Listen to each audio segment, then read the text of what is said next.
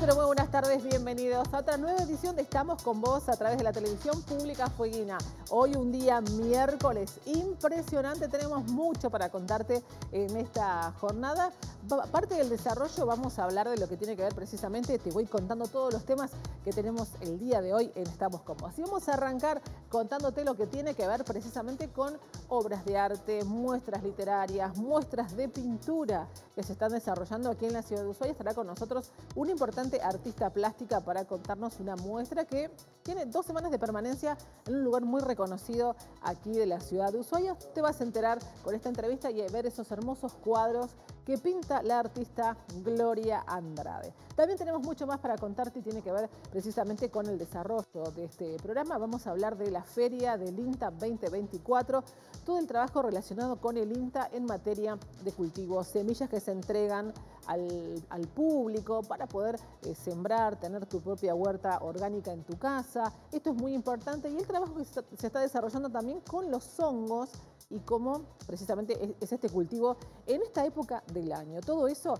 y mucho más relacionado con la temporada Pro Huerta aquí en Estamos con Vos. Otro de los temas importantes, hablamos de música, hablamos de talentos, hablamos de fueguinas que crecen a nivel nacional y vamos a estar hablando con Guadi, una artista impresionante de muy corta edad, ella tiene tan solo 15 años, 15 años y está triunfando en Buenos Aires con comedia musical, con canciones. Vamos a hablar con ella y por supuesto de todo su triunfo y cómo viene desarrollando toda su carrera musical artística en Buenos Aires. Otro de los temas que vamos a trabajar el día de hoy tiene que ver con esta posibilidad de llevar a las emprendedoras al barrio San Vicente.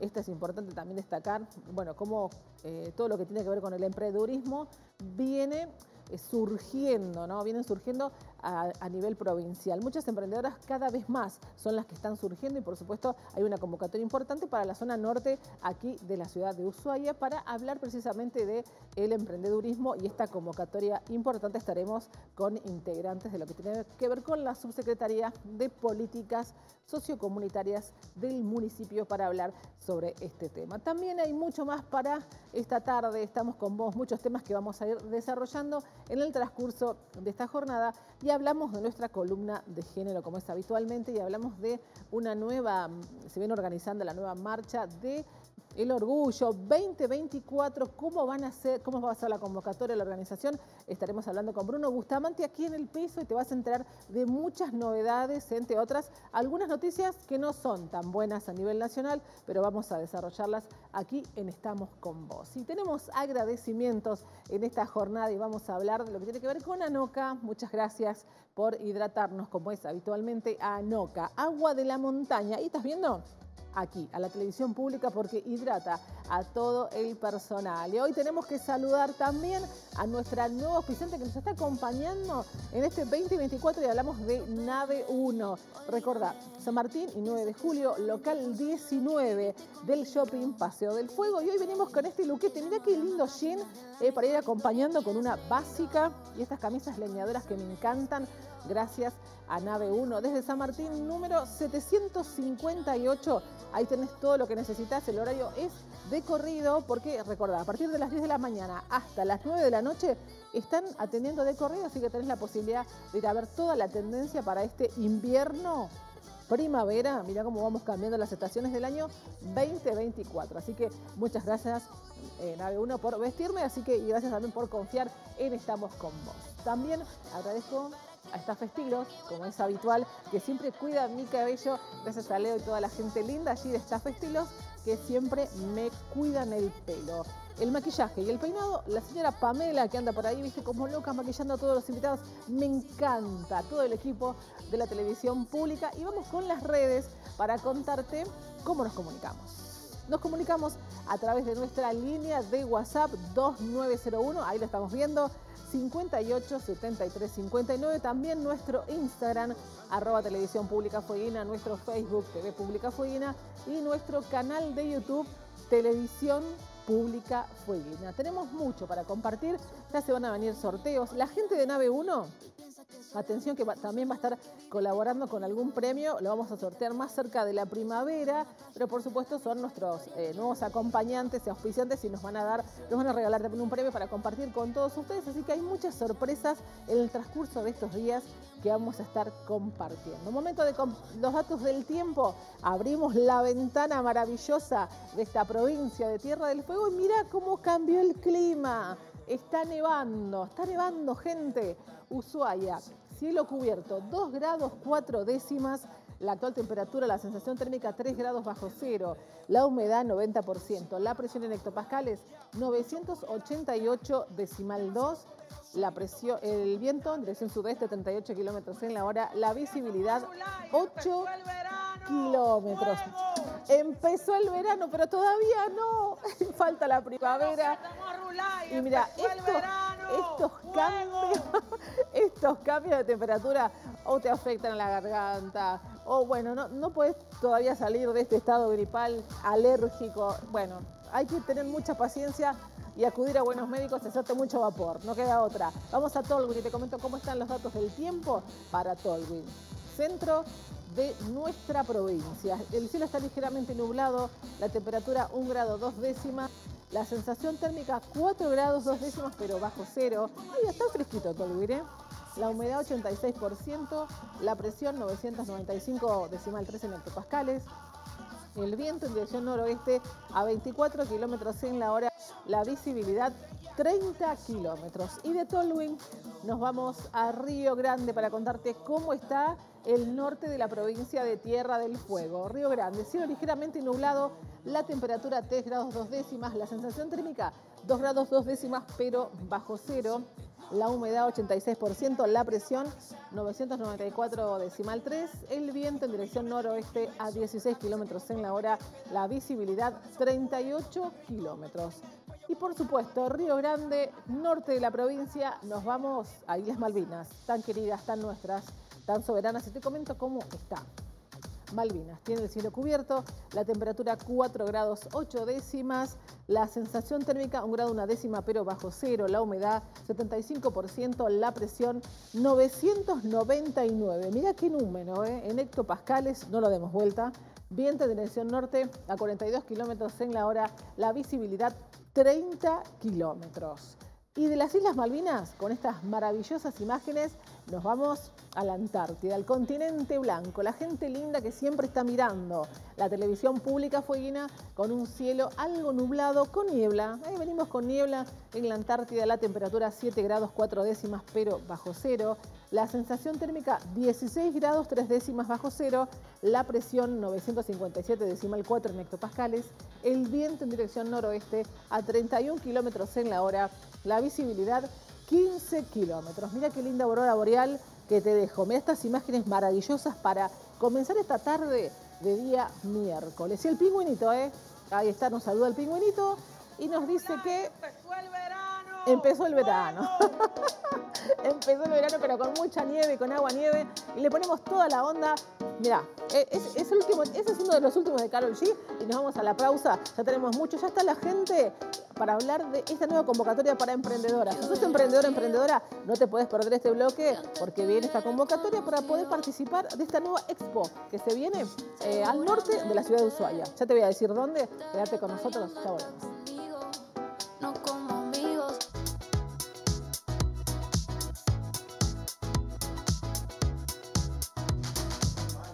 Continuamos en Estamos con vos y tenemos recomendaciones. Hablamos de tu casa, que es tu lugar, tu comodidad, los momentos más divertidos los, los, pasas en tu casa. Y te ofrezco esta super promo y no puede faltarte la mejor conexión y los contenidos de tele que más te gustan. Por eso escucha esta super oferta que te voy a ofrecer. Internet más televisión HD a un precio imperdible. Y no solamente eso, además tenés la plataforma Mío, streaming con dos meses de instalación totalmente bonificada. ¿Cómo tenés que hacer? Te comunicas al 0800 222 2323 o bien puedes ingresar a la página superconectados.ar y llevar tu casa a otro nivel de entretenimiento súper. Y súper, como siempre decimos, es esta entrevista que tenemos a continuación con, obviamente estamos con Erika Fossati, quien es subsecretaria de Mujeres, Género y Diversidades del municipio y también con Pamela Coronel, referente del programa Mujeres Emprendedoras. Bienvenidas. Bueno, hablamos de lo que tiene que ver, primero que nada, con esta convocatoria importante que se está realizando para las emprendedoras zona norte de la ciudad de Ushuaia. Bueno, ¿cómo surge? ¿Cómo es la convocatoria, Erika? Sí, la, verdad que nosotros venimos haciendo eh, a partir de justamente el mes de septiembre, vamos a empezar a salir al territorio, vamos a estar en varios lugares como Secretaría atendiendo. Eh, arrancamos por la zona norte, en todo lo que es el Centro Comunitario de la 640, el Centro Comunitario de la Cantera este, y Barrio Parque. Entonces, la idea era poder en conjunto trabajar y poder generar una expo en el Poli de la Cantera eh, como parte de nuestra llegada a la zona norte, por un lado para atender a las vecinas que se acerquen y que conozcan todo lo que nosotros ofrecemos desde la Secretaría, tanto el acompañamiento psicológico como legal, y la expo, que son con las emprendedoras que venimos trabajando, que la verdad que esta vez eh, la zona norte es la, que va a salir beneficiada. Eh, ¿Esto comprende desde qué lugar hasta qué lugar se entiende zona norte de la ciudad? Nosotros, eh, cuando la armamos y la pensábamos con las chicas del equipo, era desde la calle Yaganes hasta donde empieza la ciudad. Claro. Todo lo que es aquella zona, eh, todas las emprendedoras de aquella zona, todavía está abierta la inscripción, así que esperamos que se, que se sumen. Bueno, Paula, tiene que ver también esta Expo Emprendedoras y todo este servicio que ustedes están brindando, un poco abre una puerta importante para los vecinos de esta zona y aquellas personas que tengan su emprendimiento. Hasta el momento, ¿cómo es la convocatoria? ¿Ya tienen inscriptos? Sí, como decía Eri, todavía está vigente la, inscripción. Nosotros lo realizamos siempre a través de, formulario de Google, ¿sí? que, por lo general lo, sacamos siempre en todo lo que tiene que ver con las redes de la Secretaría y de la Municipalidad de Ushuaia. Eh, hasta el momento, eh, si bien eh, la convocatoria fue bastante demandada, todavía tenemos cupos, que eso es bueno.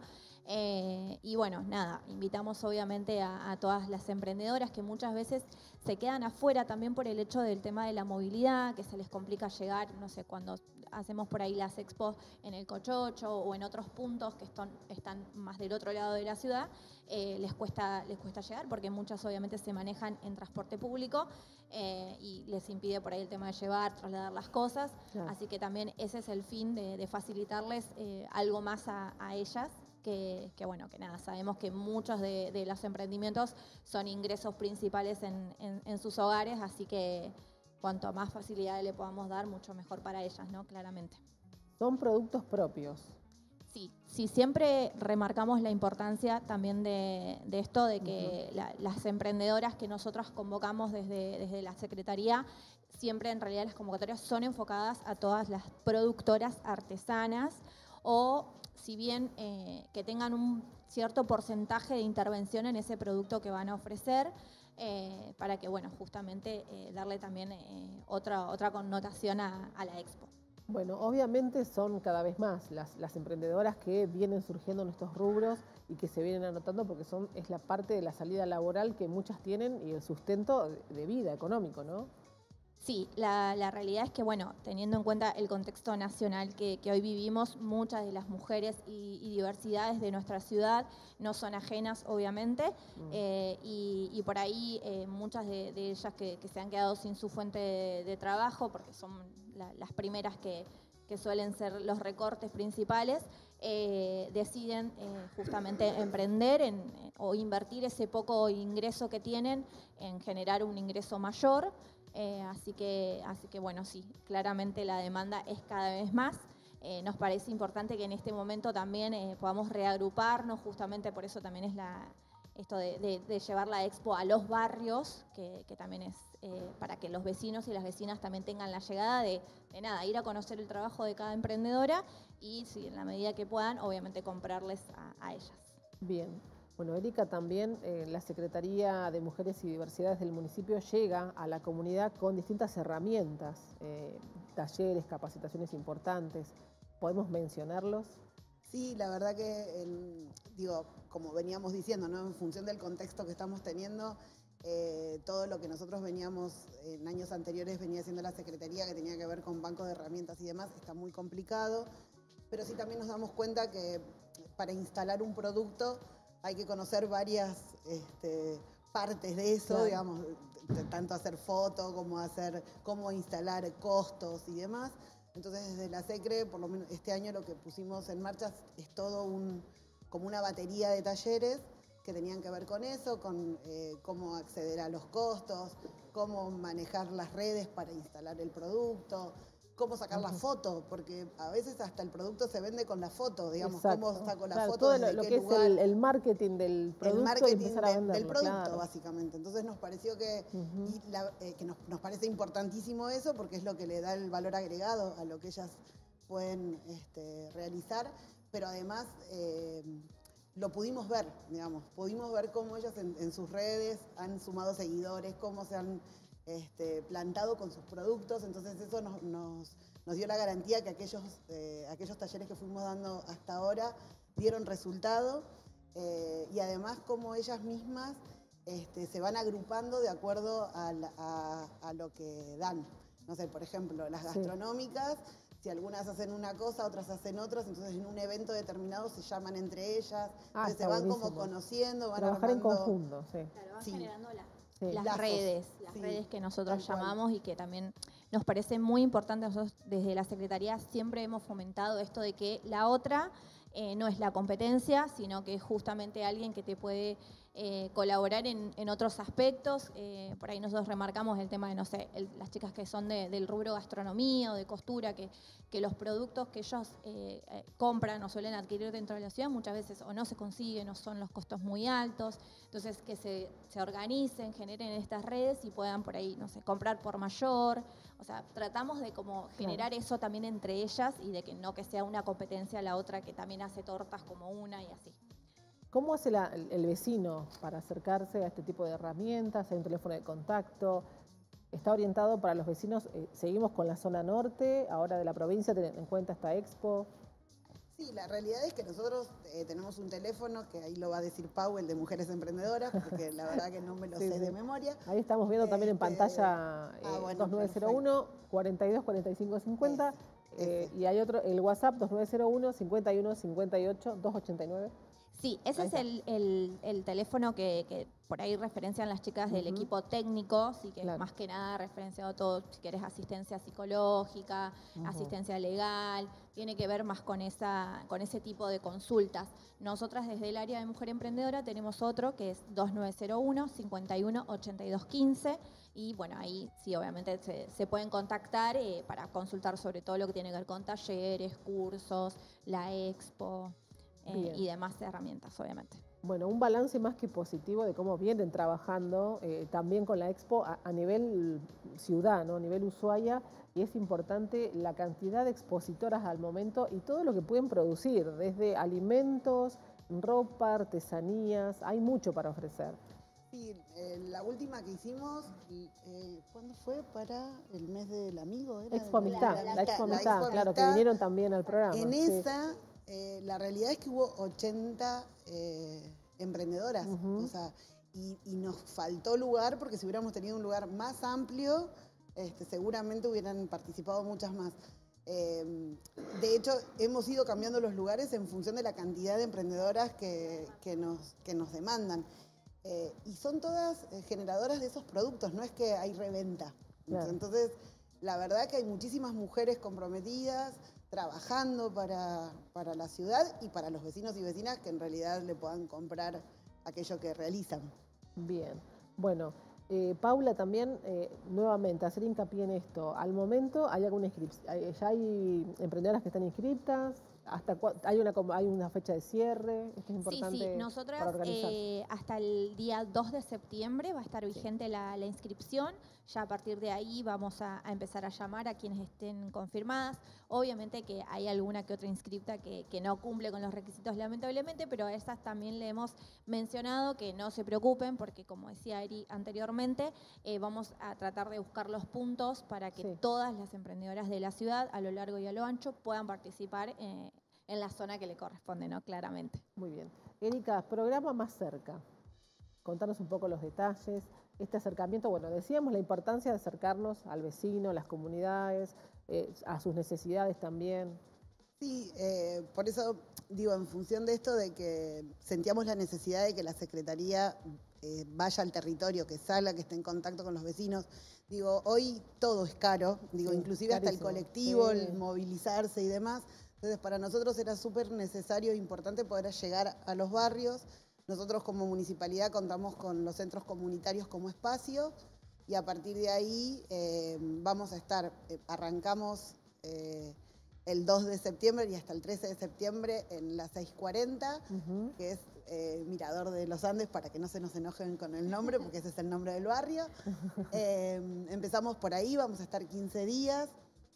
Eh, y obviamente con todo lo que tiene que ver con el equipo profesional, con el equipo de mujeres emprendedoras, eh, vamos a estar o Alejandra o yo, Alejandra nuestra secretaria, Alejandra Uoto. Alejandra Uoto, sí, eh, eh, o yo ahí a disposición también de los vecinos para consultas, para todo lo que, lo que les interese a las vecinas, pero también nosotros poderles contar a los vecinos qué hacemos en la Secretaría de la Mujer y poder poner todo a disposición para que conozcan el trabajo que hacemos, cómo nos movemos, qué realizamos. Digo, todo esto que vos nos preguntabas de los talleres y demás, la verdad que es súper interesante cómo la dinámica que tiene la SECRE y, poder este, acercarlo a las vecinas y a los vecinos es súper necesario e importante.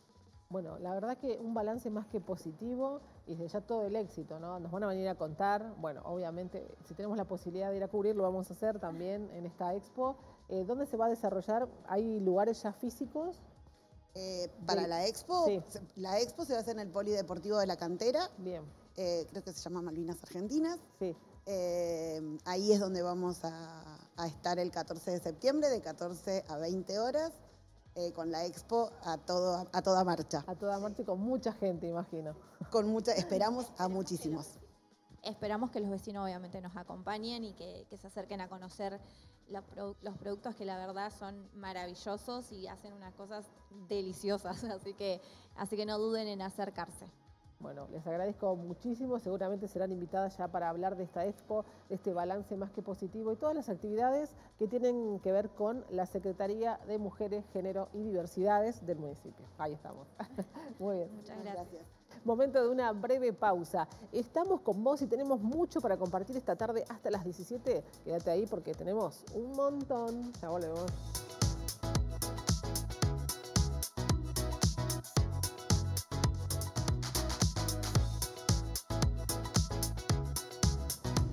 Por supuesto tenemos recomendaciones y hablamos de máster informática, siempre un paso adelante porque cuentan con un servicio técnico y sus expertos están altamente capacitados para resolver cualquier inconveniente que tengas con tu PC. Para ellos ningún problema es demasiado grande porque cuentan con más de 20 años de experiencia en el sector. Deja tu equipo en las mejores manos porque por supuesto ya llegaron los modelos de notebook más esperados del mercado. ¿Qué estás esperando para ir a buscar la tuya que tiene una amplia variedad de marcas que te están esperando para que elijas la opción ideal?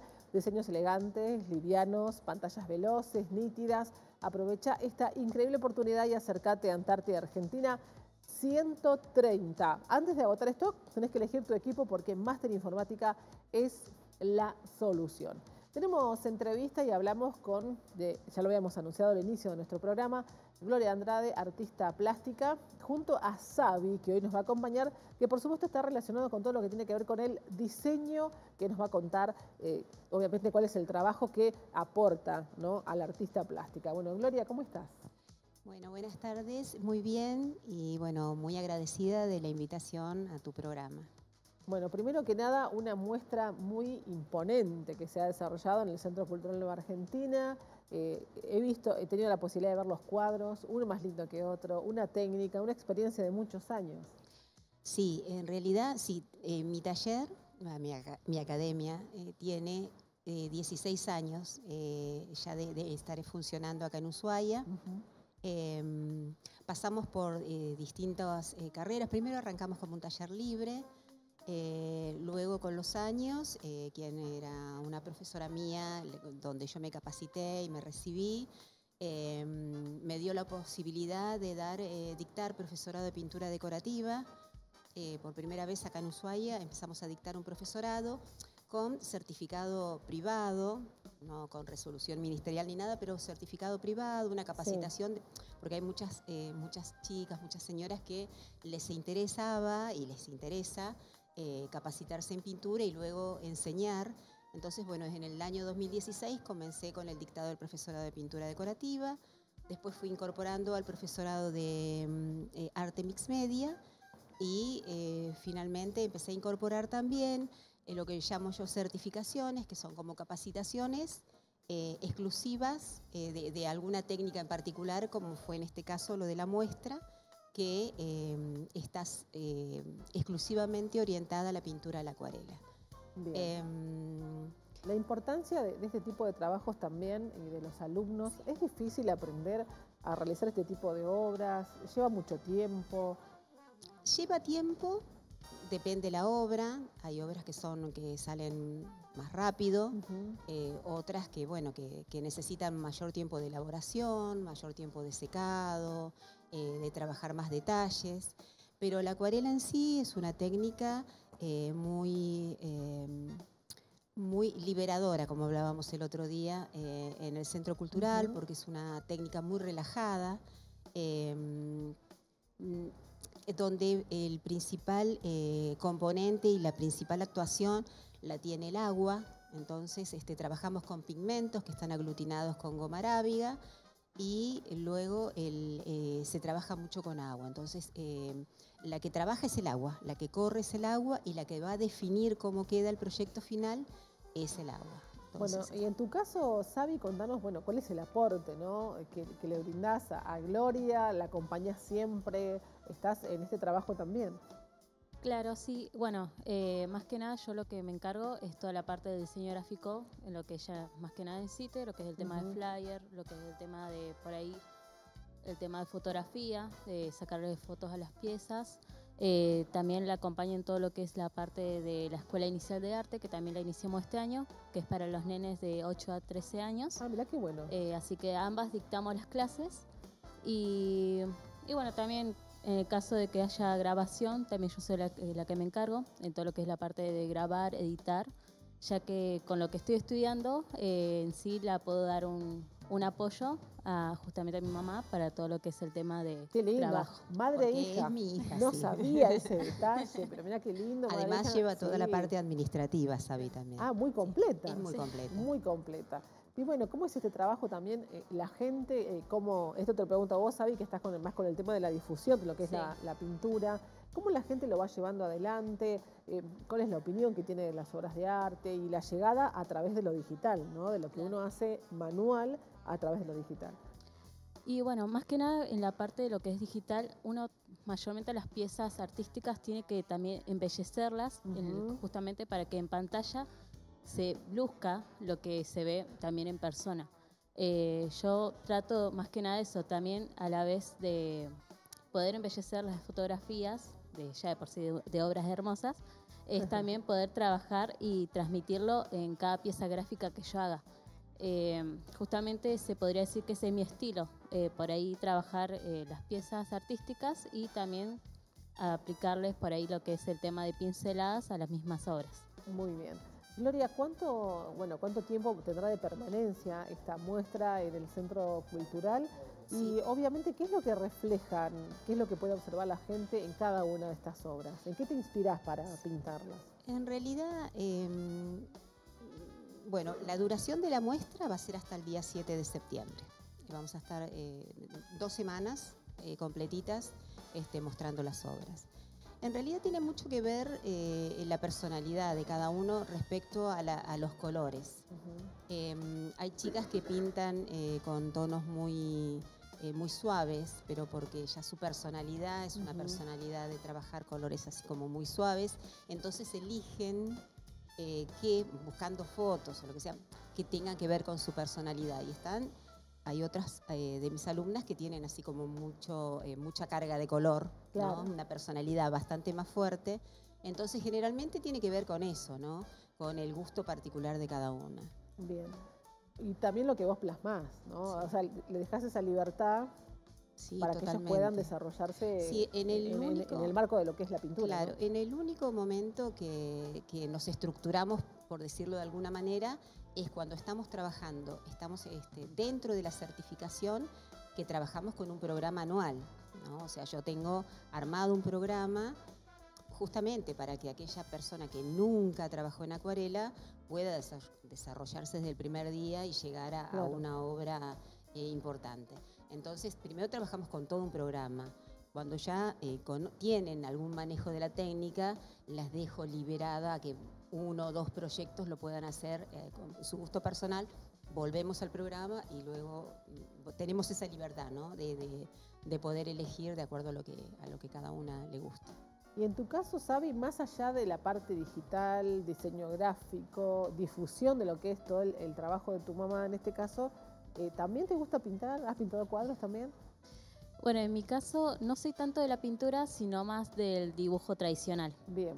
Eh, justamente en la parte esta de la escuela inicial que tenemos con mi mamá, eh, yo a los chicos soy la que los guía más que nada lo que es el tema del dibujo a lápiz. Eh, enseñándole los, principios básicos de lo que es el dibujo, desde punto de fuga, perspectiva. Eh, bueno, justamente ahora empezamos con el tema del rostro, con los nenes, ah, así que ahí estamos con eso más que nada. Muy bien. Bueno, Gloria, eh, el mensaje importante que, tiene que ver esto, ¿no? La pintura, con qué se va a encontrar la gente que va a la muestra. Obviamente siempre estás presente para poder evacuar todas esas dudas que tiene este público que va, ¿no? Yo, por ejemplo, cuando fui a la muestra, vi una obra con café que me gustaba muchísimo. Y te, y te pregunté, eh, ¿esto está hecho con café? Sí, eh, bueno, justamente de ese, de ese proyecto vamos a hacer un seminario ahora próximamente, porque tampoco es, no es una técnica difícil. Claro. Es este, como toda la acuarela, realmente es, son, no te digo que la acuarela es recontra fácil, pero tampoco es algo que es imposible de realizar. Muy bien. Em, bueno, van a ver eh, muestras de, ya te di, como te decía hace un ratito, mucho que ver con la personalidad de cada alumna, ¿no? De em, e, e, esas explosiones de color o de la serenidad, de acuerdo a la, personalidad de ellas. ¿Cuántas alumnas? Bueno, en la exposición, en realidad en la certificación eh, hay algo de 12 alumnas. Bien. Valientes en la muestra sí, sí, sí. son cuatro. Cuatro, aparte de, que me acompañan, que me acompañaron en la muestra. Pero bueno, ya para el año que viene van a estar un poquito más animadas. Bien, y el mensaje para cerrar, bueno, Sabi, ¿qué mensaje le dejas también eh, a los más pequeños, a los más, bueno, vos tenés el taller de más chicos, digamos, ¿no? que se inician en el dibujo. Eh, aprender e, es un arte, es lindo poder aprender este tipo de, artes plásticas, ¿no? Sí, eh, el mensaje es que todos los pueden hacer, que no, no hay que nacer con una especie de don. Obviamente que para los que nacen con este don de poder dibujar o crear va a ser mucho más fácil, pero todos podemos y que eso no es una traba, que en realidad lo, principal es que hay que practicar y que en cualquier momento se pueden hacer cualquier obra artística que pueda ser reconocida a nivel mundial si quieren. Muy bien. Y esto se puede disfrutar en el Centro Cultural de Argentina. Tenemos dos semanas, ¿no? Para dos semanas, sí, dos semanas. Muy bien, muchísimas gracias. No, gracias a Gracias a ustedes. Muy bien. Miriam, bienvenida. Aquí estamos con vos y tenemos entrevista. Ale, muchísimas gracias. Aquí estamos nuevamente. Y la verdad tengo una entrevista preciosa para hacer, porque se conjugaron muchas cosas. Te vamos a estar presentando a una artista muy chica, muy joven, pero que realmente empezó hace mucho tiempo, porque es de familia que viene con el cine, con las producciones. Pero lo que a mí, y quiero destacar hoy antes de presentártela, es la importancia de tener artistas como ella. Chica, 13 años, que puede hablar a par, a las pares y a las más chiquititas, sin tener que pasar por la música que muchas veces están escuchando nuestras hijas y decimos, ¿qué están cantando? Volver a esa inocencia, a eso que vivíamos en algún tiempo atrás cuando comenzó Violeta, eh, ahora está volviendo este, las canciones de Cris Morena. Bueno, volver un poco a que la infancia sea ese proceso y no que consuman música. Y si esto viene de la mano de un artista que a pesar de su corta edad tiene mucho talento, qué mejor. Bienvenida, Guadi, a la música. Gracias por estar con nosotros acá hoy y compartir con nosotros justamente este lanzamiento tan esperado este, y este primer concierto. ¿Cómo estás, preciosa? Hola, ¿cómo estás? Yo muy bien, muy contenta por esta nota, estoy muy emocionada. Bueno, la verdad es que nos pone muy felices eh, poder hablar con vos y sobre todo esto, ¿no? Destacar eh, las letras de tus canciones, volver a esa adolescencia que necesitamos eh, y, que nos cuentes un poco más, aparte de un lazo muy particular con Tierra del Fuego, porque no es casual que hoy estés hablando con nosotros acá, porque vos viniste de chiquita también. Sí, sí, sí, bueno, muy lindas tus palabras, gracias. Eh, sí, de muy chiquita ya conocí eh, Tierra del Fuego. La verdad, no me acuerdo. Era bebé. Era muy bebé. Tenía eh, menos de un año, creo. Claro. Pero bueno, yo veo las fotos y me encanta, tengo recuerdos ahí guardados en las fotos, así que sí, sí, de muy chiquita tengo una conexión. Claro, esto nace con la película que vino todo para firmar acá, tu papá también como productor, Hermanitos del Fin del Mundo, ella vino como bebé eh, bueno, y ahí nace también una amistad muy bonita con la familia Barbosa, eh, de lo cual vamos a hablar de Larita en un ratito.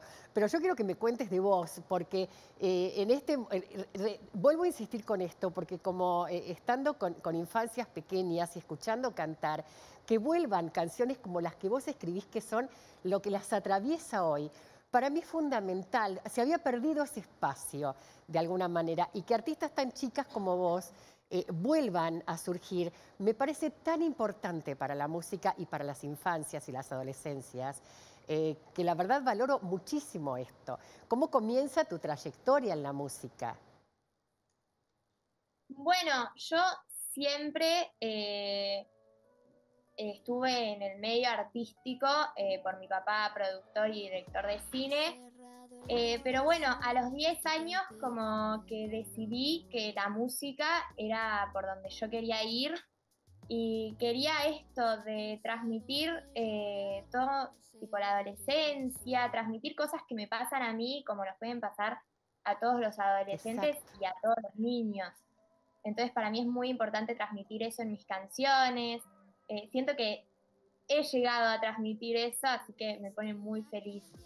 La verdad, tus canciones, aparte son, eh, todas las canciones, será libre, eh, o sea, son palabras como fuertes eh, que marcan. Vos escribís tus propias canciones también. Sí, sí, yo ideo, escribo en las canciones, la música, como quiero el ritmo, si quiero que sea balada, si quiero que sea bien movida. Y así las termino de crear con Lisandro Nieto, un artista y productor musical increíble. Y ahora se viene el show. Qué momento importante para la vida de, un artista, su primer show y más este, con, todo lo que esto implica, ¿no? Eh, bueno, y ahí es donde entra un poco Lara que te acompañó, eh, que, se formó al conocerte y entrar en ese mundo, fue como que eh, también se sumó desde hermanitos y terminó siendo coreógrafa, se fue a estudiar allá y ahí se forma este lazo familiar de amistad este, también eh, muy lindo a través, que nace de una película. Es increíble cómo esto nació, ¿no? Sí, sí, increíble. Eh, la verdad, ella está muy detrás, eh, ayudándome a mí, ayudando en todo lo del show. Y bueno, el showzazo que se viene es impresionante, con unos músicos que la verdad los voy a nombrar porque me parece súper importante. Absolutamente. Los increíbles. En la batería tenemos a Lucas Asensio, que también es el director musical. En el bajo tenemos a Pablo Álvarez. En la guitarra a Martín Tiacaluga. Y en los teclados tenemos a Mati Manterola. Linda banda. Wadi, eh, cuando estamos hablando, vos dijiste un showzazo, justamente tomo esa palabra tuya, eh, porque estamos acostumbrados a ver de nuestras locales, Lali es una cosa que, nada, implosiona los escenarios. Tini también, si bien el último show fue mucho más tranqui, Emilia, o sea, son shows muy fuertes y muy potentes. ¿Vos cómo pensás ir llevando, y bueno, háblame de, de este show que vas a armar, eh, y cómo vas, cómo vas proyectando tus shows? cómo, cómo los vas visualizando. Este, está bien, este es el lanzamiento, pero después empieza un crecimiento exponencial y bueno, hay que empezar a, ocupar esos espacios. Sí, la verdad yo me inspiro mucho en, ellas, las artistas eh, nacionales. Me encantan todas, soy muy fan, la verdad. Em, pero bueno, yo es como, como primer show creo que va a ser muy grande el show, eh, va a ser muy importante, creo que va a ser un paso muy grande que voy a dar. Y nada, yo me inspiro mucho, yo, a ver, el show de ellas es impresionante, es como muy grande, claro. obviamente llegar a eso. Claro, en algún momento, ¿quién te dice un Vélez? Pero bueno, vamos, vamos por el principio, que es el primero, y, pensarlo y visualizarlo es un trabajo importantísimo. ¿Quién te acompañó para, para hacerlo? Porque te veo tan potente y tan empoderada en, lo que vos querés y cómo lo ves, que, me parece fascinante, pero alguien te va acompañando también y te va poniendo las ideas un poco más en claro, supongo. Sí, obvio, sí, sí. Bueno, todo mi equipo, mi papá es muy importante acá, mi mamá, eh, la verdad, yo visualizo todo y me encanta y así me entusiasmo y a veces como que me dicen, bueno, no, pues bueno, como que me van acomodando, pero la verdad es que tengo un equipo hermoso. Gaby, ¿qué te pasa en el cole? Porque con tus amigas, o sea, cuando sacas un tema, primero se los mostrás, ¿cómo es tu dinámica como artista y como compositora? Eh, primero le decís, che, te, o, te agarrás, te aferrás de cosas que le pasan a tus amigas y decís, che, esto lo voy a escribir, te jode. Eh, ¿cómo, vas manejando eso? ¿O son todas experiencias propias? No, son experiencias propias, pero también como que yo me inspiro en, a ver, tengo este tema y a ver eh, si veo que mis amigas se sienten identificadas o cosas que le pasan a ella que por ahí no sé, me van a pasar en un futuro o ya me pasaron, como que me inspiro mucho en todos los adolescentes, en mis amigas y amigos, la verdad, me inspiro mucho. Y bueno, salir corriendo, que es eh, uno de los últimos, como que habla un montón de eso bien adolescente, como es eh, bien adolescente y nada, me inspiro mucho. Vos sabés que, eh, insisto con esto que decía cuando abría, eh, hay un, hubo, quedó un espacio de repente vacío. Literalmente quedó un espacio vacío. Eh, porque se saltó, todas las artistas pop crecieron y faltaba que nacieran nuevos exponentes. De repente vino todo lo que es el trap, el rap y toda la historia con todos los nombres del Lurra y todos los que no desconozco, porque a veces me los nombran, me dicen todos los nombres y conozco un tema acá, con suerte. Digo, pero las mujeres eh, que contaran estas historias, que fueran identificables como lo fue Violeta en su momento, como lo fue Lali en Esperanza Mía. O sea, eh, ya, ellas ya se convirtieron en mujeres y dejaron ese espacio. Y vos entraste así como, hola, llegué. Eh, y llegaste en el momento exacto, porque está pasando, hay como una movida general, general que están surgiendo. y llegaste así como primereando, digamos. ¿Vos te das cuenta de esa importancia de, lo que estás, este, el lugar que estás ocupando hoy? Bueno, sí, yo eh, obviamente pienso todo el tiempo en eso. Eh, está bueno, eh, me encanta escucharlo, la verdad. pero sí, sí, siento que esto de los temas adolescentes como que se había perdido y ahora como que estamos volviendo y así, y la verdad, como que llegué en el momento. ¿Cuántas canciones vas a presentar en el show? voy a presentar, eh, bueno, todo mi álbum, que son 10 canciones y algunos covers. Qué lindo. Sí, porque aparte hiciste un cover muy lindo con Mariana Martínez.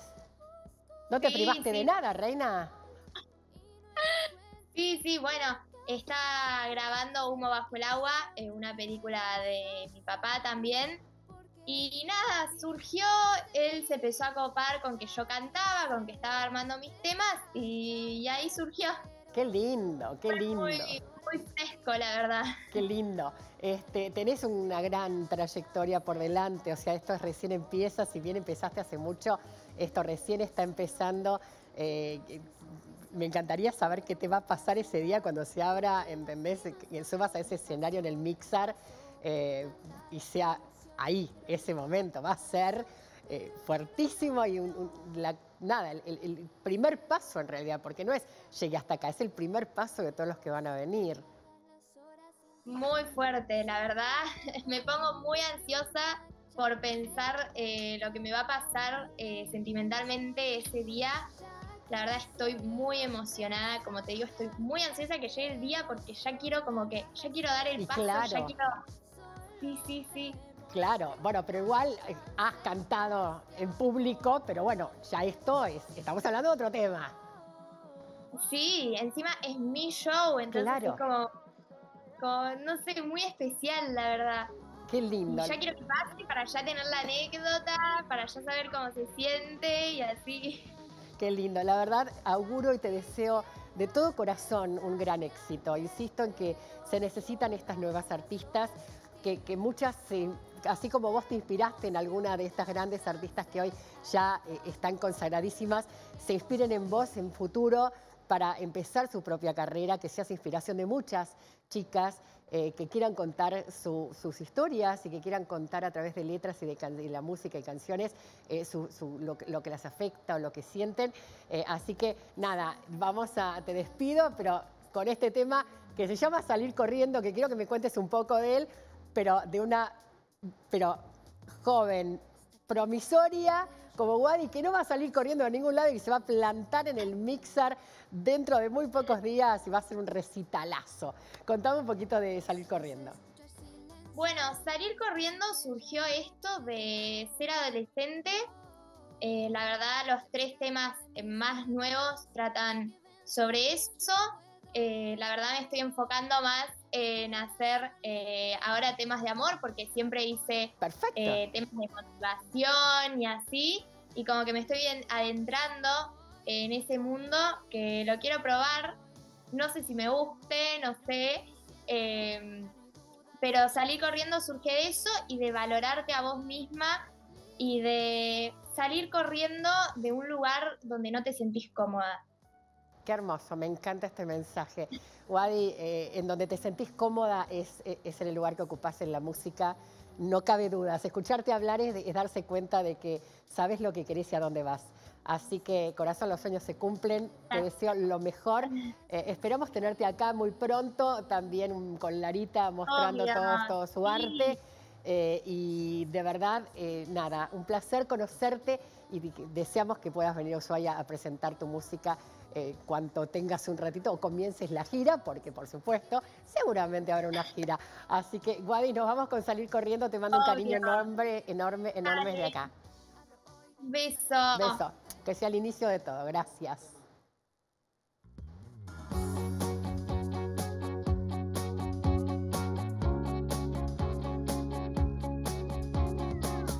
Decidí que no eras tan importante para mí. Descubrí que la vida es solo un instante. La quiero vivir porque tu amor ya dejó de ser mi sueño, ya no.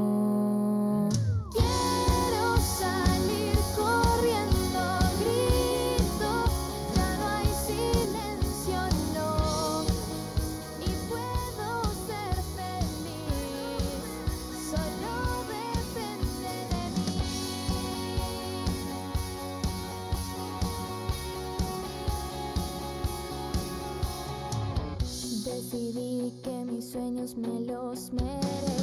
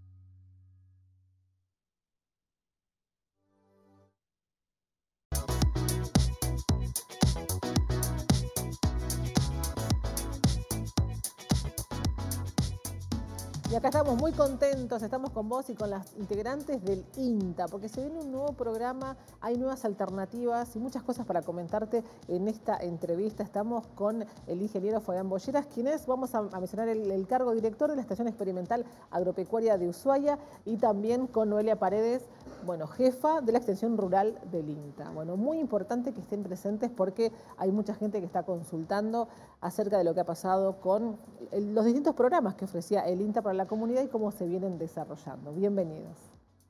Bueno, gracias Alejandra por la invitación. Eh, siempre es un gusto estar acá y difundir lo que hacemos desde el INTA, ¿no? Eh, no sé Hay, si- nue- hay nuevas propuestas para este año 2024, muchos programas, hablamos de entrega de semillas, qué es lo que, que ha sucedido. Bueno, entendemos también que después eso lo vamos a, a charlar, eh, la, la cuestión económica a nivel nacional, pero primero, ¿qué es lo que vamos a ofrecerle a la gente en esta etapa del año? Sí, en lo inmediato está la entrega de semilla, que es eh, algo que hacemos todos los años para esta época, es el lanzamiento de la temporada de siembra. Eh, en el marco de un programa que es el Pro Huerta, que lamentablemente está desfinanciado y, bueno, y por suerte teníamos stock de semillas y no- este año vamos a poder hacer la entrega. Eh, Sabes que hay mucha demanda, todos los años tenemos mucha demanda, entregamos más de mil kits en toda la provincia, tanto en Río Grande, en Tolwyn como en Ushuaia. Y, y bueno, lo mismo pasa con las pollitas, ¿no? Eh, el Pro Huerta es un programa del Ministerio de Desarrollo Social, hoy eh, Capital Humano. Eh, y bueno, eh, lo que se ha pensado desde el INTA es buscar las articulaciones para sostener este programa, ¿no? Lo mismo pasa con el componente granja del programa, la, entrega de las pollitas ponedoras, las negra y rubia INTA. Así que bueno, la estrategia es eh, buscar las vinculaciones, las articulaciones con los municipios, con el gobierno, gobierno de la provincia para poder sostener esta, esta intervención que es tan demandada por toda la comunidad.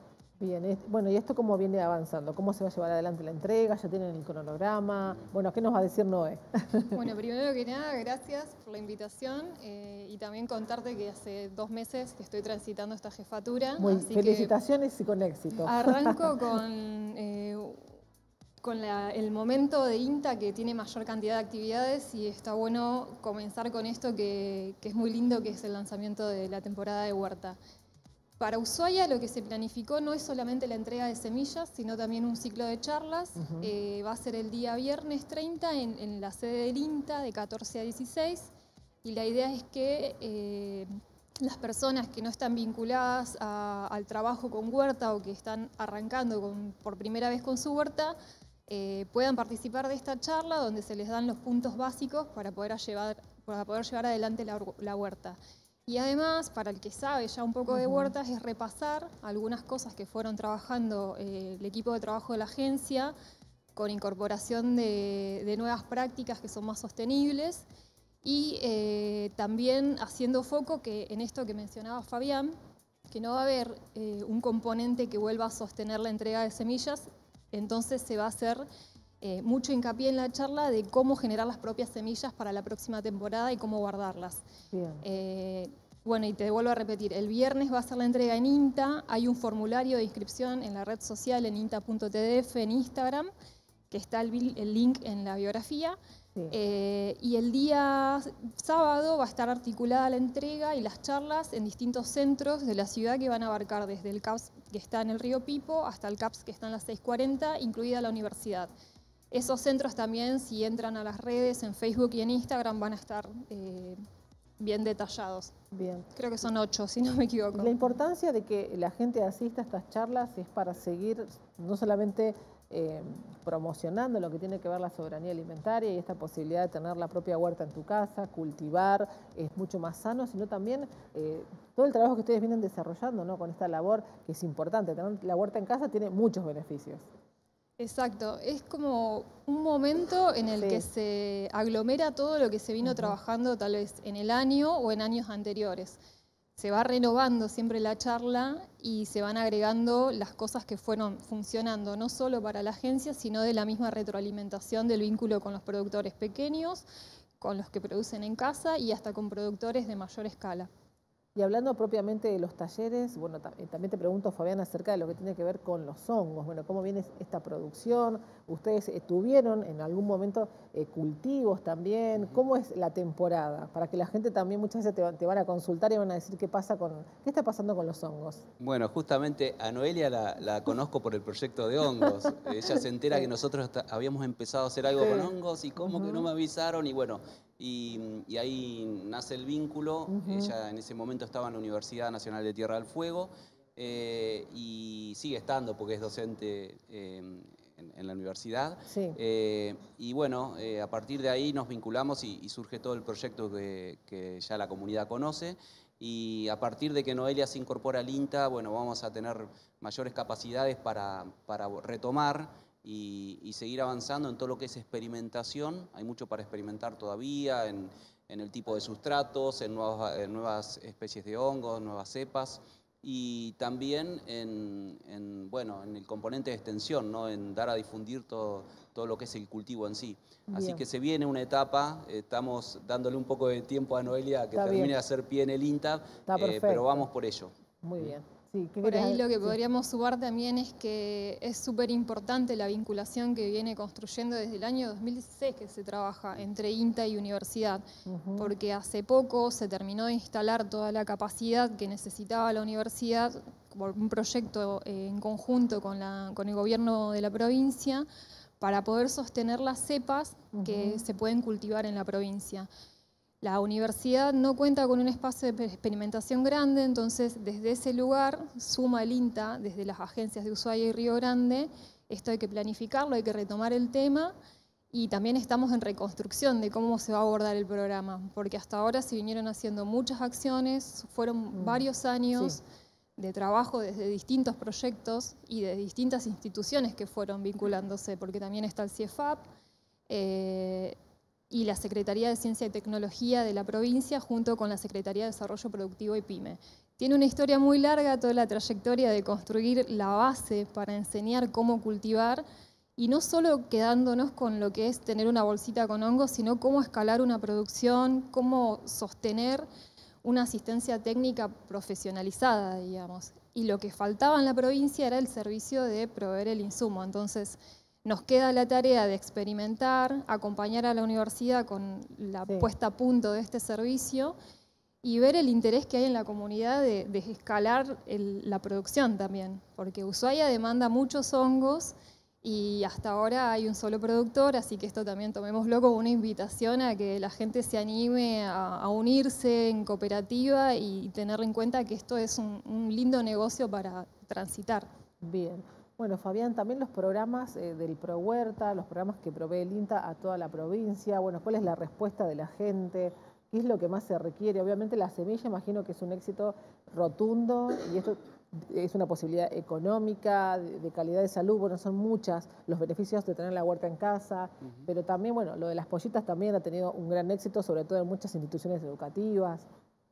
Sí, me- mencionabas recién todo lo, todo lo que es la intervención en lo que es autoproducción de alimentos, la huerta familiar, la granja familiar, que nosotros le damos mucha importancia y vamos a tratar de sostenerlo junto con el gobierno, con los municipios.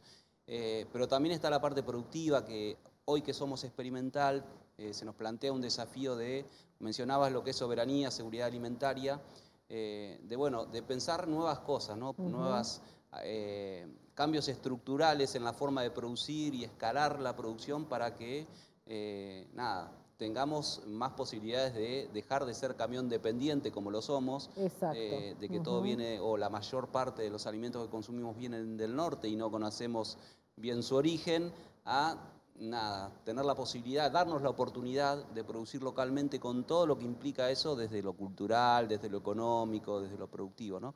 Así que mm, muchos desafíos a partir de que somos experimental. Eh, hace un año, eh, muy poquito, que nace la experimental. Y, y bueno, y está todo lo que es la producción en la provincia, ¿no? Desde la frutihorticultura, la producción de hongos que mencionaban recién, la avicultura, la producción ganadera, la producción forestal también, que bueno, ahí tenemos un área de vacancia, el único forestal en toda la provincia soy yo, en el INTA, y, bueno, tenemos expectativa de que la estructura de la experimental eh, siga creciendo, ¿no? Tuvimos un primer impulso eh, a partir del cual creamos la administración y fortalecimos las dos agencias, nos está faltando completar los equipos, esperemos que suceda en algún momento, para poder dar mayores respuestas a la comunidad. ¿Cómo está trabajando Tolwin? Bien, eh, Tolwin, eh, la verdad que venimos trabajando muy bien, de forma muy articulada. Eh, hace unos días estuvimos reunidos con, con el intendente, tenemos el mejor vínculo. eh, y bueno, y ahí nos propusimos algunos ejes, retomar el- la pro- lo que es la producción de frutillas, implementar lo que es la cría de pollos camperos, que es una raza que desarrolló el INTA. Hay muchas ideas y, y bueno, y tenemos firmados convenios específicos por el tema de granja, así que mm, con muchas expectativas. y bueno, lo cierto es que estamos un poquito lejos y estamos, estamos eh, acompañando a Tolwin desde la Agencia de Extensión Rural Río Grande y de Ushuaia, ¿no? Así que nos Bien. encontramos ahí, hacemos cosas en conjunto que están muy bien. Bueno, también esta, esta pregunta va para cualquiera de las dos que quiera responder, pero las ferias. También la gente está esperando las ferias que se realizaban en el INTA. Bueno, obviamente tiene que ver con la producción, pero muchos emprendedores, plantas, bueno, había de todo. ¿Esto cuándo vuelve? Eso también es una pregunta de la gente.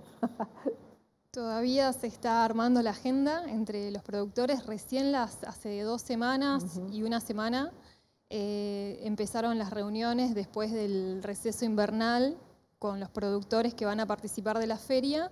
Eh, así que ni bien tengamos agenda, se va a comunicar por eh, las redes sociales. Bien. Pero sí van a volver. Están en el receso de- propio de, de la temporada, digamos. Bien. Sí, y hay producciones que, que se pueden hacer a lo largo de todo el año, eso está buenísimo porque se rompe la, la estacionalidad tan marcada eh, que, que- que tiene que ver con el clima ¿no? en nuestra provincia. Todo lo que es producción de huevos no se, no se detiene, todo lo que es producción de hongos, brotes, Claro. microgreens, Claro. ornamentales Bueno, también. las y- plantas. claro, las- exactamente. Un montón de plantas, macetas. que Pero bueno, sí es un, bueno. es un muy lindo espacio de intercambio eh, en la comunidad. La agencia se viste de fiesta cuando, cuando hay feria y la comunidad acompaña mucho, porque sabe que está apoyando a los productores. ¿no? Bien, y aquella persona que también esté escuchando esta entrevista y que por ahí diga, bueno, yo quiero adquirir la semilla, ya bien lo explicaste, Noé, con el tema de la inscripción en el formulario, pero después con la semilla, obviamente, ¿qué hago? Porque yo tengo mi semilla, quiero plantarla. Bueno, yo soy fanática de las plantas, así que voy a preguntar por eso más que nada. Eh, ya tengo la capacidad, el desarrollo, y aquella persona que todavía no tiene ese conocimiento puede adquirirlo. Sí, justamente por eso se incorpora a cada entrega la, la charla inicial de Huerta y en es- ese mismo día de las entregas van a haber planillas donde se recaba esa información, después se hace el análisis de, de todo lo que se anotó y acorde a la demanda se ve si se arma un taller o, o qué actividad para cubrir eso.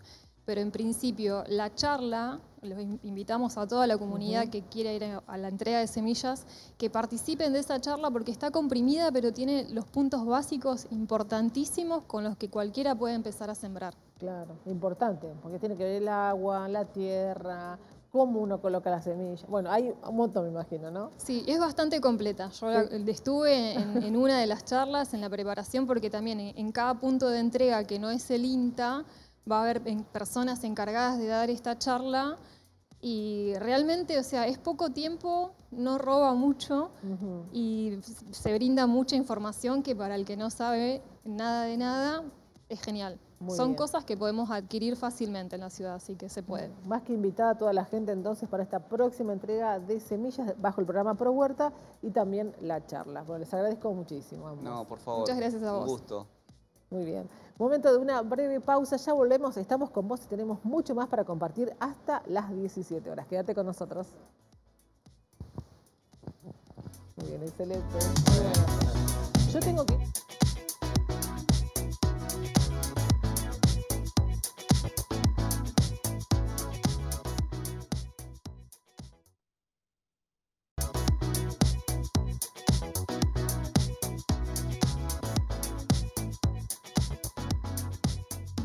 Y acá estamos muy contentos, estamos con vos y con las integrantes del INTA, porque se viene un nuevo programa, hay nuevas alternativas y muchas cosas para comentarte en esta entrevista. Estamos con el ingeniero Fabián Bolleras, quien es, vamos a, mencionar, el, cargo director de la Estación Experimental Agropecuaria de Ushuaia y también con Noelia Paredes, bueno, jefa de la extensión rural del INTA. Bueno, muy importante que estén presentes porque hay mucha gente que está consultando acerca de lo que ha pasado con los distintos programas que ofrecía el INTA para la comunidad y cómo se vienen desarrollando. Bienvenidos.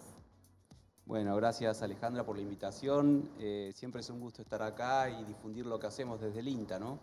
Eh, no sé Hay, si- hay nuevas propuestas para este año 2024, muchos programas, hablamos de entrega de semillas, qué es lo que, que ha sucedido. Bueno, entendemos también que después eso lo vamos a, a charlar, eh, la, la cuestión económica a nivel nacional, pero primero, ¿qué es lo que vamos a ofrecerle a la gente en esta etapa del año? Sí, en lo inmediato está la entrega de semilla, que es eh, algo que hacemos todos los años para esta época, es el lanzamiento de la temporada de siembra.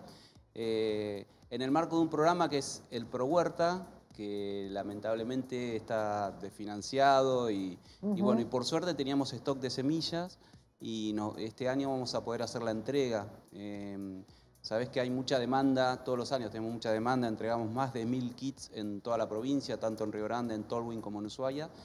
Y, y bueno, lo mismo pasa con las pollitas, ¿no? Eh, el Pro Huerta es un programa del Ministerio de Desarrollo Social, hoy eh, Capital Humano.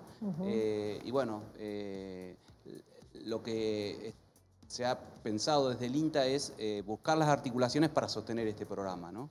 Eh, lo mismo pasa con el componente granja del programa, la, entrega de las pollitas ponedoras, las negra y rubia INTA. Así que bueno, la estrategia es eh, buscar las vinculaciones, las articulaciones con los municipios, con el gobierno, el gobierno de la provincia para poder sostener esta, esta intervención que es tan demandada por toda la comunidad. Bien, bueno, ¿y esto cómo viene avanzando? ¿Cómo se va a llevar adelante la entrega? ¿Ya tienen el cronograma? Bueno, ¿qué nos va a decir Noé? Bueno, primero que nada, gracias por la invitación eh, y también contarte que hace dos meses que estoy transitando esta jefatura. Muy, así que felicitaciones y con éxito. Arranco con, eh, con la- el momento de INTA que tiene mayor cantidad de actividades y está bueno comenzar con esto que, que es muy lindo, que es el lanzamiento de la temporada de huerta. Para Ushuaia lo que se planificó no es solamente la entrega de semillas, sino también un ciclo de charlas. Ujú. Eh, va a ser el día viernes 30 en, en la sede del INTA de 14 a 16 y la idea es que eh, las personas que no están vinculadas a- al trabajo con huerta o que están arrancando con- por primera vez con su huerta eh, puedan participar de esta charla donde se les dan los puntos básicos para poder llevar, para poder llevar adelante la, la huerta. Y además, para el que sabe ya un poco de huertas, es repasar algunas cosas que fueron trabajando eh, el equipo de trabajo de la agencia con incorporación de, de nuevas prácticas que son más sostenibles y eh, también haciendo foco que en esto que mencionaba Fabián, que no va a haber eh, un componente que vuelva a sostener la entrega de semillas, entonces se va a hacer eh, mucho hincapié en la charla de cómo generar las propias semillas para la próxima temporada y cómo guardarlas. Bien. Eh, bueno, y te vuelvo a repetir, el viernes va a ser la entrega en INTA, hay un formulario de inscripción en la red social en inta.tdf en Instagram, que está el, el link en la biografía. Eh, y el día sábado va a estar articulada la entrega y las charlas en distintos centros de la ciudad que van a abarcar desde el CAPS que está en el río Pipo hasta el CAPS que está en la 640, incluida la universidad. Esos centros también, si entran a las redes en Facebook y en Instagram, van a estar eh, bien detallados. Bien. Creo que son ocho, si no me equivoco. La importancia de que la gente asista a estas charlas es para seguir no solamente eh, promocionando lo que tiene que ver la soberanía alimentaria y esta posibilidad de tener la propia huerta en tu casa, cultivar, es mucho más sano, sino también eh, todo el trabajo que ustedes vienen desarrollando ¿no? con esta labor que es importante. Tener la huerta en casa tiene muchos beneficios. Exacto, es como un momento en el Sí. que se aglomera todo lo que se vino trabajando tal vez en el año o en años anteriores. Se va renovando siempre la charla y se van agregando las cosas que fueron funcionando, no solo para la agencia, sino de la misma retroalimentación del vínculo con los productores pequeños, con los que producen en casa y hasta con productores de mayor escala. Y hablando propiamente de los talleres, bueno, eh, también te pregunto, Fabián, acerca de lo que tiene que ver con los hongos. Bueno, ¿cómo viene esta producción? ¿Ustedes tuvieron en algún momento eh, cultivos también? ¿Cómo es la temporada? Para que la gente también muchas veces te, va- te van a consultar y van a decir qué pasa con, qué está pasando con los hongos. Bueno, justamente a Noelia la, la conozco por el proyecto de hongos. Ella se entera Sí. que nosotros habíamos empezado a hacer algo Sí. con hongos y cómo que no me avisaron y bueno, y, y ahí nace el vínculo. Ella en ese momento estaba en la Universidad Nacional de Tierra del Fuego eh, y sigue estando porque es docente eh, en, en la universidad. Sí. Eh, y bueno, eh, a partir de ahí nos vinculamos y, y surge todo el proyecto que, que ya la comunidad conoce. y a partir de que Noelia se incorpora al INTA, bueno, vamos a tener mayores capacidades para, para retomar y, y seguir avanzando en todo lo que es experimentación. Hay mucho para experimentar todavía en, en el tipo de sustratos, en nuevas, en nuevas especies de hongos, nuevas cepas y también en, en, bueno, en el componente de extensión, ¿no? en dar a difundir todo, todo lo que es el cultivo en sí. Así Bien. que se viene una etapa, estamos dándole un poco de tiempo a Noelia que Está termine bien. de hacer pie en el INTA, eh, pero vamos por ello. Muy bien. Sí, ¿qué Por ahí lo que podríamos sumar también es que es súper importante la vinculación que viene construyendo desde el año 2016 que se trabaja entre INTA y universidad, porque hace poco se terminó de instalar toda la capacidad que necesitaba la universidad por un proyecto eh, en conjunto con, la- con el gobierno de la provincia para poder sostener las cepas que se pueden cultivar en la provincia. La universidad no cuenta con un espacio de experimentación grande, entonces desde ese lugar suma el INTA, desde las agencias de Ushuaia y Río Grande. Esto hay que planificarlo, hay que retomar el tema y también estamos en reconstrucción de cómo se va a abordar el programa, porque hasta ahora se vinieron haciendo muchas acciones, fueron Mm, varios años de trabajo desde distintos proyectos y de distintas instituciones que fueron vinculándose, porque también está el CIEFAP, eh, y la Secretaría de Ciencia y Tecnología de la provincia junto con la Secretaría de Desarrollo Productivo y PYME. Tiene una historia muy larga toda la trayectoria de construir la base para enseñar cómo cultivar y no solo quedándonos con lo que es tener una bolsita con hongos, sino cómo escalar una producción, cómo sostener una asistencia técnica profesionalizada, digamos. Y lo que faltaba en la provincia era el servicio de proveer el insumo. Entonces, nos queda la tarea de experimentar, acompañar a la universidad con la Sí. puesta a punto de este servicio y ver el interés que hay en la comunidad de, de escalar el- la producción también, porque Ushuaia demanda muchos hongos y hasta ahora hay un solo productor, así que esto también tomémoslo como una invitación a que la gente se anime a, a unirse en cooperativa y tener en cuenta que esto es un, un lindo negocio para transitar. Bien. Bueno, Fabián, también los programas eh, del Pro Huerta, los programas que provee el INTA a toda la provincia, bueno, ¿cuál es la respuesta de la gente?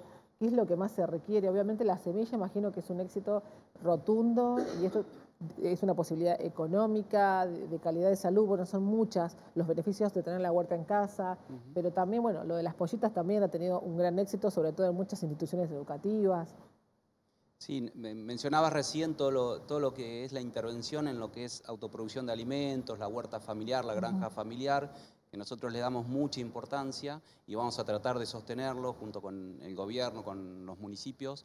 Eh, pero también está la parte productiva que hoy que somos experimental eh, se nos plantea un desafío de, mencionabas lo que es soberanía, seguridad alimentaria, eh, de, bueno, de pensar nuevas cosas, ¿no? Nuevas eh, cambios estructurales en la forma de producir y escalar la producción para que, eh, nada, tengamos más posibilidades de dejar de ser camión dependiente como lo somos, eh, de que todo viene, o la mayor parte de los alimentos que consumimos vienen del norte y no conocemos bien su origen, a nada, tener la posibilidad, darnos la oportunidad de producir localmente con todo lo que implica eso desde lo cultural, desde lo económico, desde lo productivo, ¿no?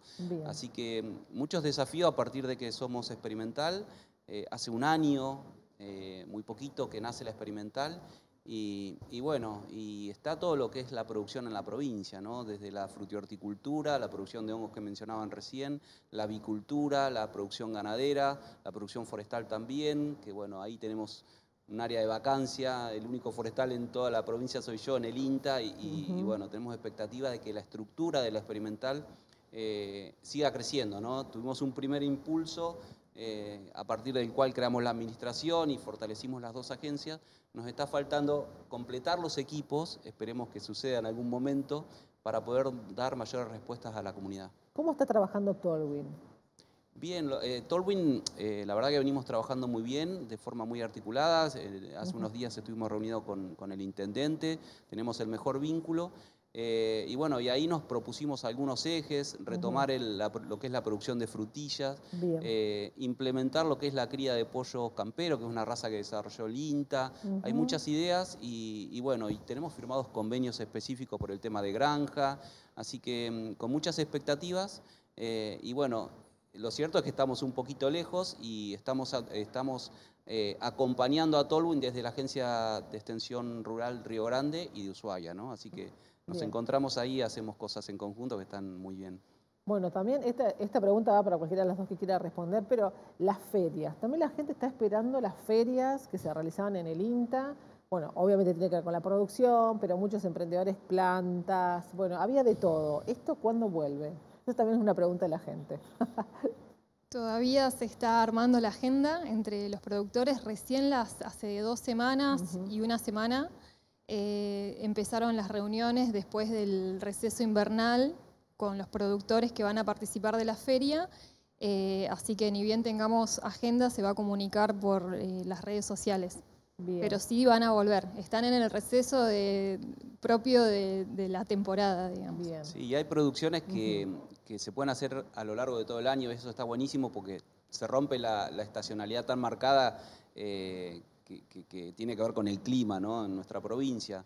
Todo lo que es producción de huevos no se, no se detiene, todo lo que es producción de hongos, brotes, Claro. microgreens, Claro. ornamentales Bueno, también. y- plantas. claro, las- exactamente. Un montón de plantas, macetas. que Pero bueno, sí es un, bueno. es un muy lindo espacio de intercambio eh, en la comunidad. La agencia se viste de fiesta cuando, cuando hay feria y la comunidad acompaña mucho, porque sabe que está apoyando a los productores, ¿no? Bien, y aquella persona que también esté escuchando esta entrevista y que por ahí diga, bueno, yo quiero adquirir la semilla, ya bien lo explicaste, Noé, con el tema de la inscripción en el formulario, pero después con la semilla, obviamente, ¿qué hago? Porque yo tengo mi semilla, quiero plantarla. Bueno, yo soy fanática de las plantas, así que voy a preguntar por eso más que nada. Eh, ya tengo la capacidad, el desarrollo, y aquella persona que todavía no tiene ese conocimiento puede adquirirlo. Sí, justamente por eso se incorpora a cada entrega la, la charla inicial de Huerta y en es- ese mismo día de las entregas van a haber planillas donde se recaba esa información, después se hace el análisis de, de todo lo que se anotó y acorde a la demanda se ve si se arma un taller o, o qué actividad para cubrir eso. Pero en principio la charla, los in- invitamos a toda la comunidad que quiera ir a- la entrega de semillas, que participen de esa charla porque está comprimida, pero tiene los puntos básicos importantísimos con los que cualquiera puede empezar a sembrar. Claro, importante, porque tiene que ver el agua, la tierra, cómo uno coloca la semilla. Bueno, hay un montón, me imagino, ¿no? Sí, es bastante completa. Yo estuve en, en una de las charlas, en la preparación, porque también en, en cada punto de entrega que no es el INTA, va a haber personas encargadas de dar esta charla. Y realmente, o sea, es poco tiempo, no roba mucho y se brinda mucha información que para el que no sabe nada de nada es genial. Muy Son bien. cosas que podemos adquirir fácilmente en la ciudad, así que se puede. Más que invitada a toda la gente entonces para esta próxima entrega de semillas bajo el programa Pro Huerta y también la charla. Bueno, les agradezco muchísimo. ambos. No, por favor. Muchas gracias a Un vos. gusto. Muy bien. Momento de una breve pausa, ya volvemos, estamos con vos y tenemos mucho más para compartir hasta las 17 horas. Quédate con nosotros. Muy bien, excelente. Yo tengo que...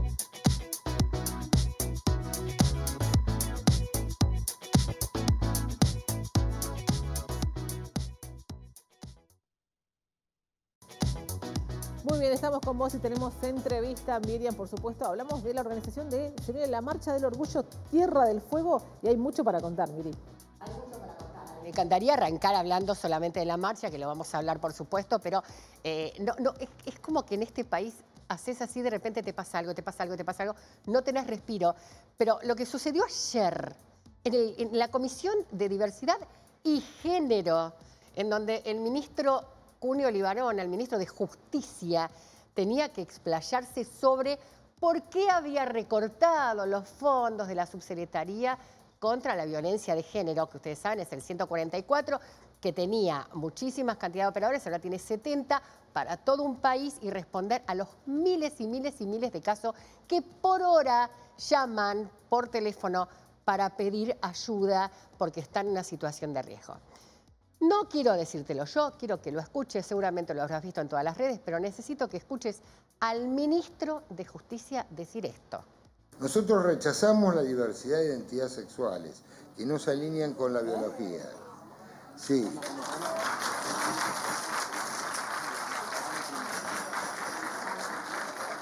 Son inventos subjetivos, inventos subjetivos Un, un- un minutito, un minutito, señor ministro. Un minutito, señor ministro. Discúlpeme. Yo, la verdad que le agradezco que haya venido. Es su deber informarnos y la verdad que estábamos consternadas, queríamos tener información. Pero usted, una cosa son sus opiniones personales y otra cosa es la ley.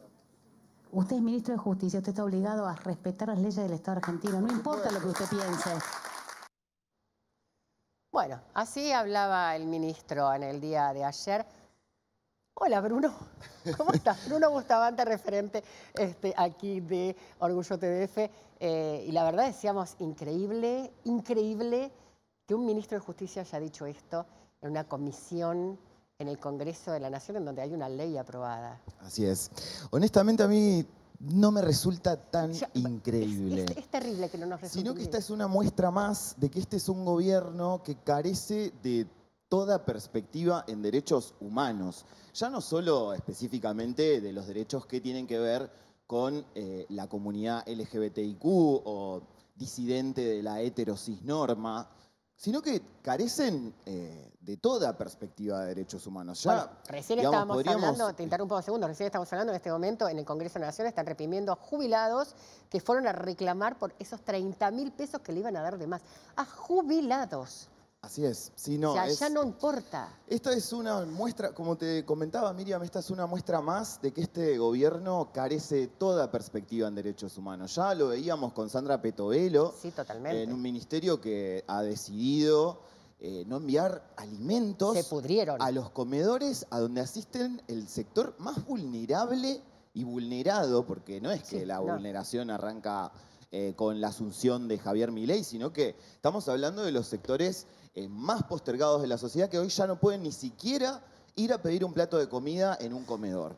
Digo, hoy nos toca a la comunidad LGBTIQ tener que estar escuchando estos lamentables y tristísimos eh, dichos de quien hoy ostenta el cargo de ministro de Justicia Y de los aplaudidores de turno. y de los aplaudidores de turno. Eh, estamos hablando de Cunio Libarona, un tipo que en Argentina es conocido por haber defendido narcotraficantes, pedófilos, digo.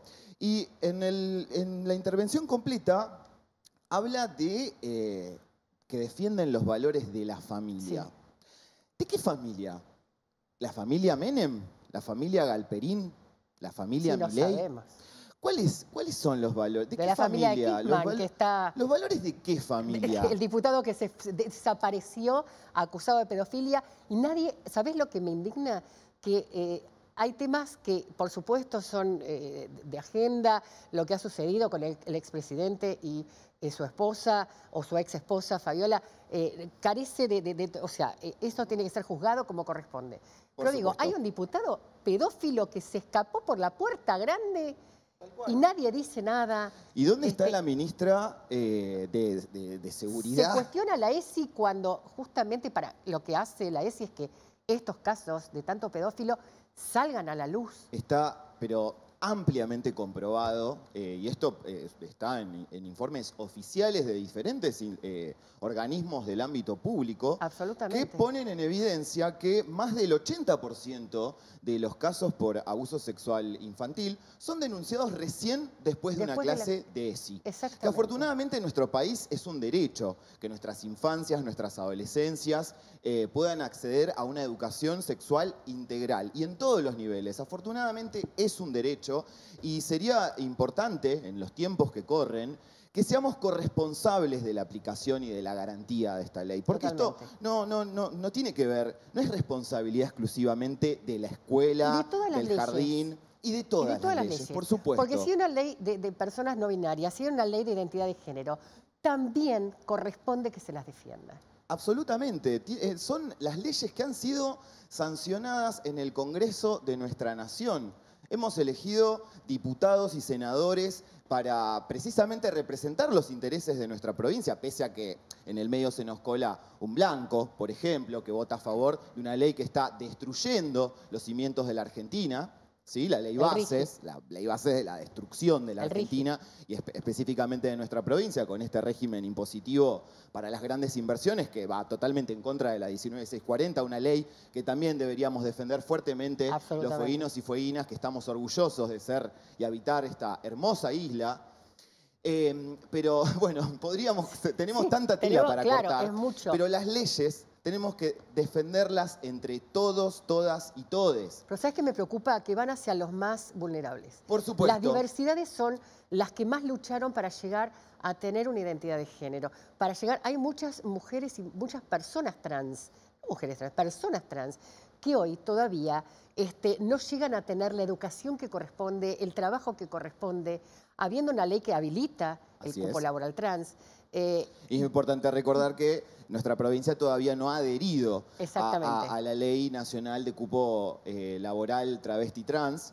eh, pese a que hemos presentado incluso un proyecto en la, en la legislatura de nuestra provincia, al día de la fecha ningún legislador ha decidido sí, levantar y decir, bueno, vamos a ir con Exacto, esto. y defenderlo como corresponde. Pero sí, es, es cierto que tenemos una ley nacional de cupo. Claro. Eso ha generado que, por ejemplo, nuestra Universidad Nacional tenga eh, un- un, eh, una normativa que, eh, que genera específicamente esto, ¿no? que, que este Totalmente. cupo pueda ser cubierto en la Universidad Nacional de, de Tierra del Fuego, pero no pasa lo mismo en otros organismos públicos. deberían. Y mucho menos en el privado.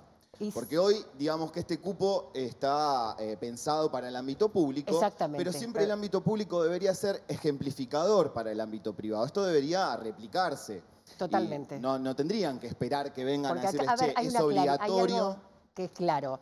La Eh, persona tiene, es, es capaz para un trabajo por, por, por per se, este, por su Sí. profesión, por lo que haya estudiado, no por cómo se identifica. Exacto. Ni por su orientación sexual, No, ni ni por su autopercepción de ¿Qué es lo- género. bueno, ¿qué es lo Pero- que estamos tratando de entender sobre esto que dijo Cuneo Libarona, una persona realmente, cuando se dice, lean la historia argentina y lean, no están, son los 90, o sea, no ha pasado tanto tiempo, hay que leer quién fue, qué hizo, qué pasó, pero esta persona que hoy ocupa un cargo de ministro, eh, habló del Corán, habló de... de- de- o sea, eh, la familia ejemplar es la familia hombre, mujer, mamá y papá, cuando sabemos todo lo que sucede eh, muchas veces intrafamiliarmente. Exacto. Entonces, eh, y, y que Pero además, Miriam, vayan siempre contra la diversidad, contra los menores, los jubilados, siempre contra los más débiles.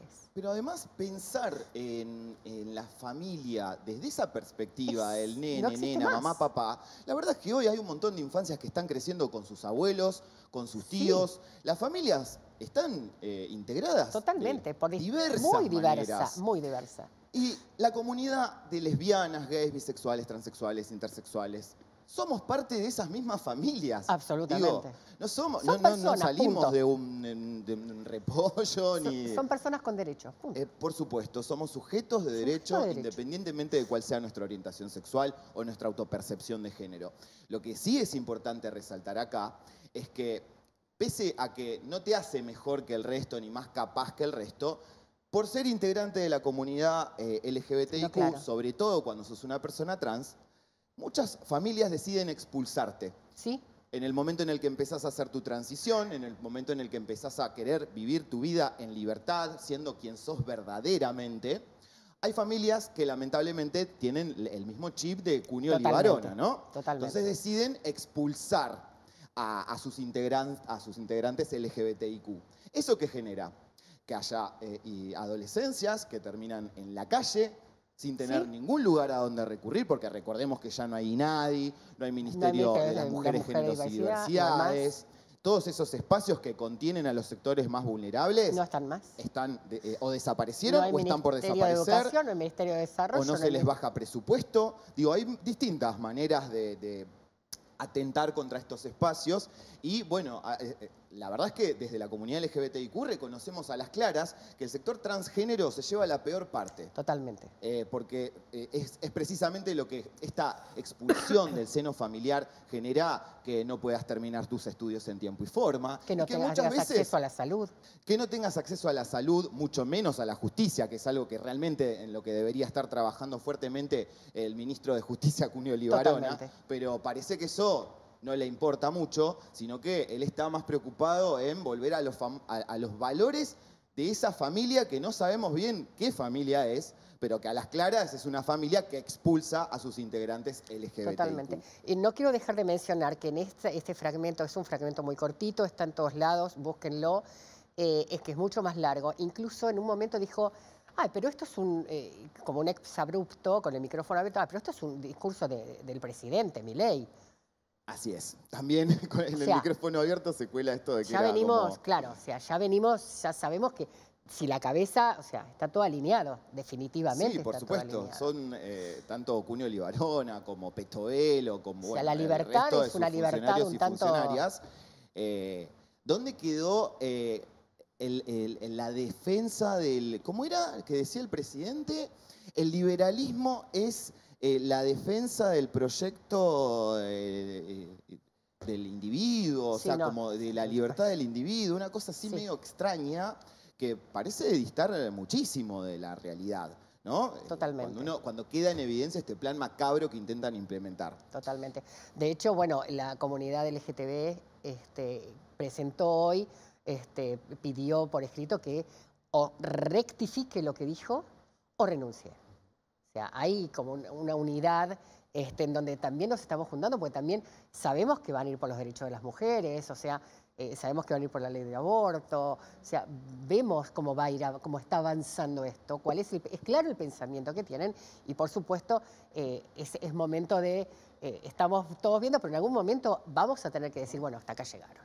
En esta O sea, oportunidad. Pero en el buen sentido, digo, eh, Sí, hacernos no podemos de naturalizar manera. esto, no, No, lo podemos naturalizar bajo que ningún no. punto de vista, porque hoy le toca, nos toca a la comunidad LGBTIQ tener que sentirnos víctimas de estos comentarios tan nefastos y que Que es parecen una vuelta, sacados porque esto de- ya lo vivieron. o sea, parece- es- por supuesto, por es un supuesto. círculo, eh. Eh, de- parece que, a- a- que hicimos un viaje hacia, hacia el 20, 30, 40 años 30 atrás. años atrás a un Sí. momento totalmente oscuro de la Argentina y es muy lamentable. No podemos naturalizar esto porque, como vos bien decís, Miriam, hoy es un comentario en una reunión de una comisión. Mañana es una quita de derechos. Mañana Claro. eh, eh, nos despedimos de la ley de identidad de género, eh, de, de la ley de, de educación sexual integral, del Totalmente. matrimonio igualitario, eh, y así vamos perdiendo derechos y, y- y- y- ¿qué nos queda si no tenemos derechos, no? Absolutamente. En un mundo en el que eh, no- no hay derechos, eh, un trabajador sin derechos es un esclavo. Claro. Eh, digo, no podemos defender ni... ni- Yo a veces intento meditar y, y pensar qué nos pasó en Argentina que terminamos yendo a elegir democráticamente a un gobierno que Sí. Eh, te, te pasa lo mismo que me pasa a mí. Yo a veces eh, me lo levanto- pregunto mí, permanentemente. yo, aparte de eso, yo me pregunto eh, qué nos pasa que miramos todo como de lejos, claro, como de enfrente. ¿por qué sentimos que no nos va a tocar? Digo, Exactamente. ¿Por o qué sea, sentimos que, que no nos va a tocar cuando ya nos está tocando? Porque el sueldo no alcanza. Está en, en- en no, Tierra del Fuego está, y en Pero Ushuaia eso- de eso tenemos específicamente, para hablar. Largo y largo y tendido, tendido. pero en Ushuaia No está me imposible ir- vivir, no hay un No. sueldo que alcance para pagar en alquiler, parte. Estamos en condenados Aires, a pagar alquiler. Hoy yo no sé cómo deben estar sobreviviendo. De verdad, de verdad te digo porque Son es tiempos muy difíciles difícil. para, la, para la Argentina Eh, y como integrante de la comisión organizadora de las marchas del orgullo, y me Eso te toca hablar. eh, porque vamos a hablar de algo más lindo. como, co- claro, Pero no, al- bueno, nos, nos cruzamos con esto en el medio y dijimos, bueno, no podemos no tomarlo. No, por supuesto. es Pero bueno, que comienza, vamos, vamos a poner una palabra, porque creo que va a ser muy importante esta marcha y me parece que este afiche este, que comienza este concurso eh, tiene que marcar un antes y un después. O sea, Así es. Imagínate si no será- de, de- claro, va a ser un, un acá estamos, va a ser un, va a ser muy, muy importante esta marcha. Imagínate, por supuesto, digo, en este contexto es más importante que nunca. Siempre fue importante, la verdad es que nuestra comunidad hace más de 60 años, al menos de la re- revuelta en Stonewall, que estamos en las calles eh, denunciando la discriminación, la exclusión, eh, la quita de derechos.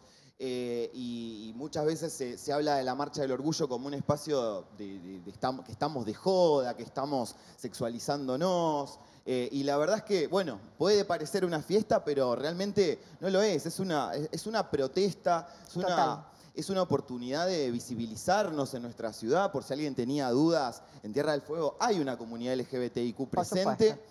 Que, en- eh, que este año, bueno, una vez más, eh, la comisión organizadora de las marchas del orgullo, que cuenta con participación de, de compañeros y compañeras y compañeres de Río Grande y de Ushuaia, nuevamente este año tenemos un concurso de afiches, así que invito a toda la audiencia a que a través de Instagram busquen Orgullo TDF, ahí van a encontrar todas las bases y condiciones como para participar. Es un concurso abierto a la comunidad, no es que hay que ser de la comunidad LGBTQ No, no, no, para participar, participar sino que de puede la- participar eh, todo el mundo.